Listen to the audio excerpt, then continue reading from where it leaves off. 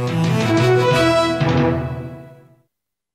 Сюда стекаются самые разные обращения, от медицинских до дорожных. Вопросы обрабатывают профильные министерства. Они же готовят ответ, причем не в протокольный 30-дневный срок, а гораздо оперативнее. Чтобы написать претензию в глобальную книгу жалоб, нужно иметь аккаунт на портале госуслуг. Кроме того, нейросеть сама может искать претензии в социальных сетях, мессенджерах и на сайтах. В Центр управления регионом за первые несколько дней уже поступило более 50 тысяч обращений. В перспективе такие организации откроются по всей стране.